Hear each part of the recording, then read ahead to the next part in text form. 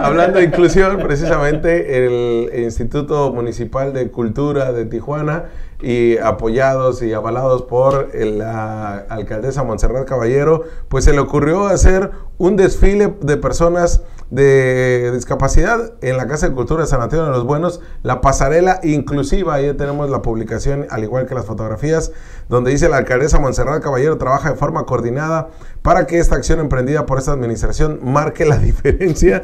No sé de qué manera puede marcar la diferencia esto, este, eh, eh, Villa, pero pues bueno, fueron esfuerzos con fundaciones, voluntariados, organismos de la sociedad civil. Ahí no cuestionamos a los organismos, ni siquiera a los que participaron en esta pasarela. Cuestionamos lo frívolo que son las políticas públicas o las acciones de gobierno de la alcaldesa Montserrat Caballero en torno a la inclusión. Quiero pensar que la alcaldesa Montserrat Caballero no estaba ni enterada de esta situación. Quiero pensarla realmente porque es sumamente lamentable que lo quieran reducir un tema de inclusión, ah, vamos a verlos pasearse, ¿no? Vamos a ver una pasarela de la inclusión de personas que a lo mejor tengan una, una situación eh, motriz. Eh, no, pero vamos a verlas, vamos a verlas caminar. Vamos a verlas caminar, vamos a ver cómo le hacen. a, ver, su eh, contoneo. Sí, vamos a ver a este señor con una muleta, ¿no? Sí. Cómo, cómo batalla para caminar y cómo se le dificulta. Oye, pero ¿no sería mejor ponerle alguna rampa, alguna, este, un andador para que pudieran entrar, accesar? ¿Qué? ¿Qué? ¿Por qué?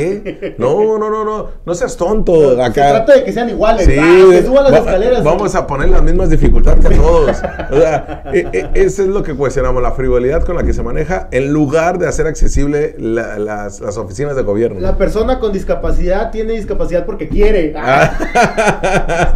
o sea, esa visión tiene de increíble realmente que su lógica para tratar de generar inclusión sea una, pasarela inclusiva, ¿no? O sea, hay, tantos esfuerzos tan simples que pudieran estar generando que mejorarían la vida de las personas eh, que tienen algún tipo de, complicación motriz eh, o, de cualquier tipo y no lo están haciendo, pero sí una pasarela. ¿Qué, tal si mejor con ese dinero hacen un taller, ¿no? Gratuito para las personas. Ah, de pasarelas.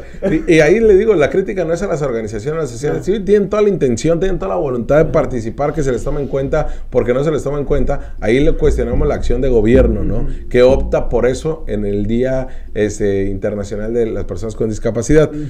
O sea, imagínense que optan por hacer eso. En ninguna parte del mundo se hace eso, más que en Tijuana.